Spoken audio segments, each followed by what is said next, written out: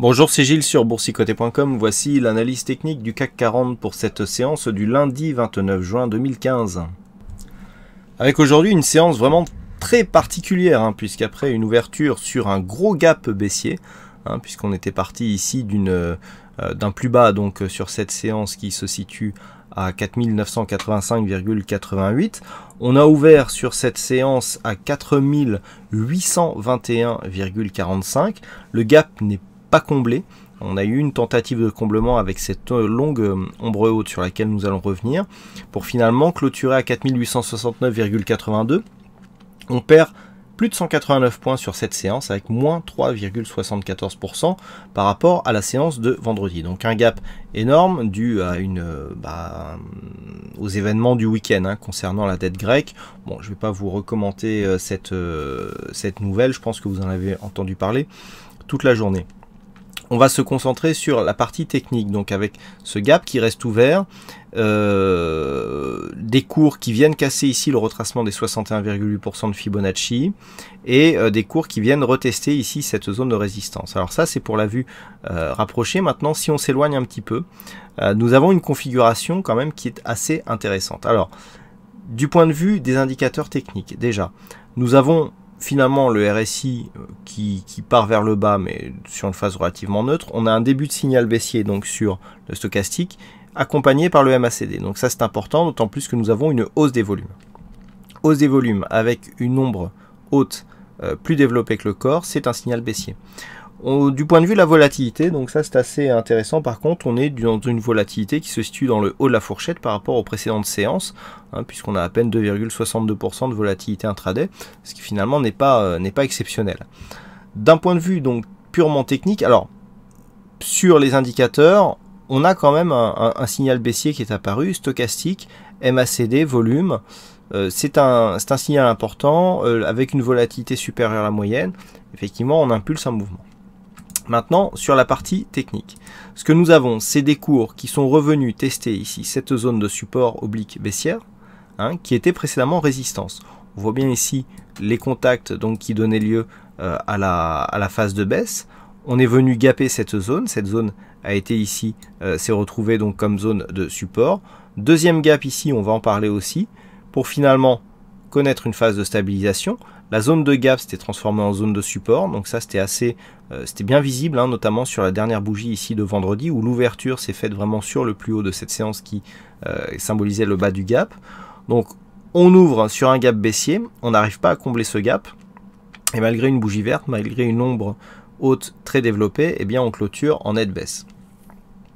Du point de vue euh, des niveaux horizontaux, nous avons euh, alors non, pardon, du point, de vue, donc je termine avec cette oblique, du point de vue de cette oblique, ici, on a toujours cette ancienne zone de résistance d'un mouvement baissier qui est toujours validée comme une zone de support. On a eu ici une ouverture, on est très vite remonté. À partir d'une nouvelle ouverture, ici, on est remonté de manière assez rapide. On est venu marquer un poids haut et puis ensuite on a, oscillé. Là, pour l'instant, par rapport à ce mouvement, on reste sur une sortie de mouvement baissier. On a validé cette zone de résistance comme zone de support, c'est toujours valide, on n'a pas marqué un nouveau plus bas. Donc là pour l'instant, on reste dans un signal de sortie de cette tendance baissière. Par contre, du point de vue de la dynamique ici que nous avons eu, alors même si on valide ici euh, sur un Fibonacci, donc sur la, là pour l'instant on est sur la dynamique, mais même si on vient valider ici sur le plus haut, ça ne change quasiment rien. On a des cours qui sont venus chercher ici le retracement à 61,8%, qui ont été cassés.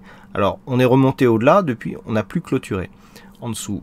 Si on revient ici sous cette zone, on valide le fait que le 61,8 est cassé à la baisse, et donc l'objectif, c'est un retracement total sur 4713 points.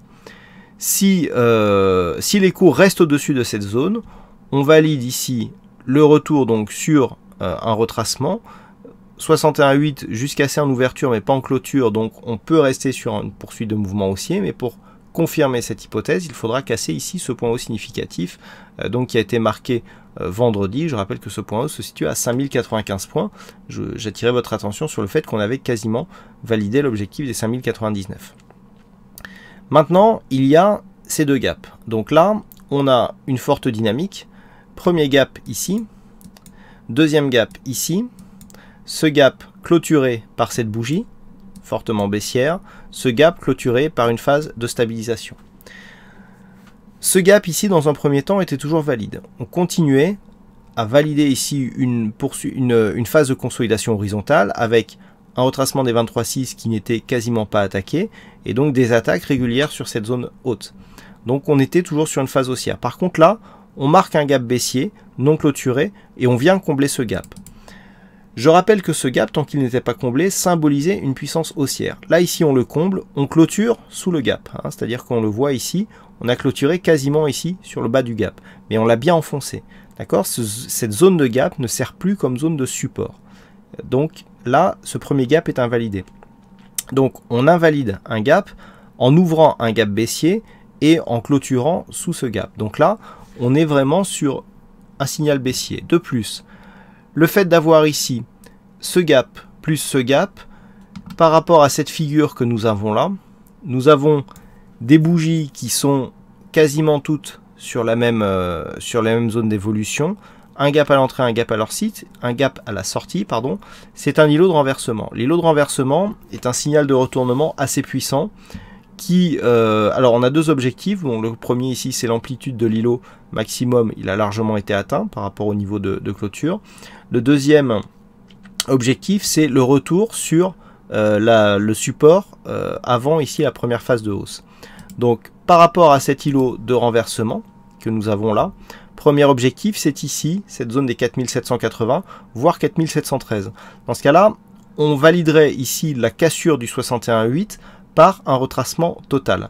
Cette hypothèse, donc si nous avons une cassure ici de cette zone des 4852 qui symbolise le retracement à 61,8%, l'objectif deviendra ici un retour sur 4713. Maintenant, on a beaucoup parlé sur cette configuration technique aujourd'hui. Lorsque l'on regarde un petit peu d'un point de vue euh, moyen-long terme, on est toujours ici sur une phase de hausse relativement dynamique, avec ici une phase de consolidation. On est vraiment euh, sur une phase de consolidation. D'ailleurs, on le voit bien ici avec cette zone de résistance, puisque maintenant on peut valider le fait que euh, la séance de, vendredi nous a donné un troisième point significatif pour donner ici cette résistance baissière sur le CAC 40 de, consolidation euh, court moyen terme. On a sa parallèle qui nous donne ici des points de contact avec des zones de support, donc c'est relativement net on a ici cette phase de consolidation. Et le gap que nous avons aujourd'hui est au milieu de cette figure. Donc il ne s'agit pas d'une, d'une, je d'une accélération à la baisse pour l'instant, puisque nous étions ici euh, dans un, enfin, dans un non-espoir ici sur cette phase, hein, ici sur cette phase euh, relativement basse, on était dans un non-espoir ici de, de, de, règlement de cette tête grecque. On est monté sur des rumeurs, et pour l'instant on dégonfle la rumeur, on revient d'après ce que je vous ai dit sur Fibonacci et sur l'îlot de renversement, sur une zone que nous occupions avant même que la rumeur de règlement de cette dette grecque n'arrive. Donc quelque part, techniquement, c'est assez logique. Finalement, on revient ici sur des zones avant que justement la, rumeur de, règlement de ce problème arrive. Donc l'objectif, et là, c'est là qu'on va rejoindre la macroéconomie, euh, L'objectif, si euh, cette, euh, cette, cette affaire n'est pas réglée, eh bien c'est un retour premièrement sur 4780 puis 4713, renforcé ici par la configuration avec l'îlot de renversement et les, euh, les retracements de Fibonacci. Tant que les cours restent ici au-dessus de ce support et d'une manière plus large, au-dessus du retracement ici des 61,8, donc au-dessus des 4852, on peut repartir à la hausse, mais cette hausse ne sera valide que lorsque nous dépasserons ici cette zone de résistance pour sortir de ce mouvement court, moyen terme. Voilà ce que l'on peut dire aujourd'hui sur cette analyse technique. Alors, c'était attendu, on attendait une forte volatilité aujourd'hui, euh, je vous l'avais dit dans mes analyses vidéo, notamment sur l'euro dollar, je vous l'avais dit sur le webinaire de formation euh, qui a eu lieu euh, vendredi. C'était pas prudent de rester overweek ce week-end, ou alors à moins d'avoir des, expositions adaptées avec des stops beaucoup plus larges. Bon, personnellement, je m'attendais pas à une telle volatilité, mais ça peut arriver faut faire attention hein, lorsque l'on reste overweek. Moi, ça m'arrive, mais euh, il, faut, il faut adapter tout simplement le, le, money management. On a une grosse volatilité, la volatilité monte, hein, on le voit bien ici sur cette phase. Donc on reste dans un complexe volatile, on l'a vu aussi sur l'euro dollar. toute la semaine risque d'être agitée. Donc je renouvelle mes, mes conseils de prudence abaissez vos expositions, élargissez vos stops, et si vous ne maîtrisez pas cette manière de trader, eh bien attendez que ces inquiétudes disparaissent. Il y aura toujours le temps de faire des plus-values ou des moins-values d'ailleurs. Euh, les, marchés, seront toujours là d'ici quelques, quelques semaines. Voilà ce que l'on peut dire donc sur cette analyse technique du CAC 40. Alors aujourd'hui, il y avait un fixing, c'est Danny Boy qui gagne sur cette euh, session, donc bravo à toi Danny Boy. Et puis bon, je ne vous le cache pas, euh, on n'a euh, pas du tout assez d'occurrences pour donner des statistiques sur cette séance. Donc pour l'instant, eh bien, il m'est impossible de vous délivrer des statistiques par rapport à cette configuration. Voilà donc ce que l'on peut dire sur cette analyse technique. Je vous souhaite à toutes et à tous une bonne soirée, bonne chance dans vos prochains trades et on se retrouve donc dès demain pour d'autres analyses techniques sur le site boursicoté.com. Bonne soirée à tous.